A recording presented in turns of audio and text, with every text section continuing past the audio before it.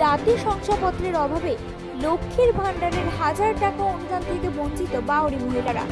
অভিযোগে বিক্ষোভ মিছিল। লক্ষ্মীর ভাণ্ডার প্রকল্পে জাতি শংসাপত্র না থাকায় হাজার টাকার মাসিক অনুদান থেকে বঞ্চিত হচ্ছে বাউরি সমাজের মহিলারা।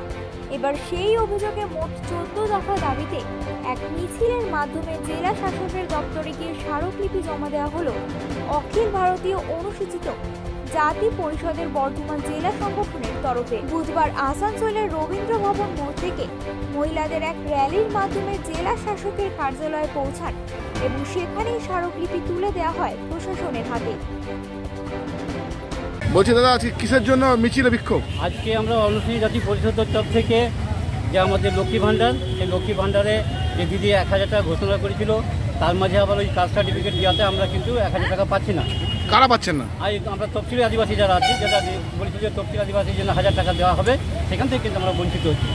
তাই আমরা দিদিকে আবেদন করছি যাতে আমরা অন্য কোনো মাধ্যমে, কোনো সরল প্রক্রিয়ার মাধ্যমে যাতে আমাদের আমাদের মহিলাদের হাজার টাকা আমরা পাই, সেটার জন্য আমাদের দিদিকে ব্যবস্থা করা এবং আমাদের অনেকের ভূমি নাই। যারা একদম অনেক দিন এখানে বাস করছে, চল্লিশ বছর, পঞ্চাশ বছর, প্রায় নব্বই বছর ধরে বাস করছে, তাদের কোনো জমি জমা নাই, তাদের ঘর নাই, তাদের দিকে দেখার জন্য আমরা কিন্তু অনুরোধ করছি। অনেক সরকার আসছে অনেক সরকার চলে যাচ্ছে, কিন্তু প্রকৃত মানুষ যারা, তাদের দিকে কিন্তু নজর দেওয়ার মতো কেউ নেই তাই আমরা আমরা সংগঠনের পক্ষ থেকে আর দিদিকে আবেদন করছি, যা যখন দিদি সঠিক মানুষগুলোকে আমরা যেন পাই, আপনাকে জানাচ্ছি আমরা, আমাদের আবেদনটা আপনি। আসানসোল থেকে সৌমিত্র গাঙ্গুলির রিপোর্ট, টাইমস বাংলা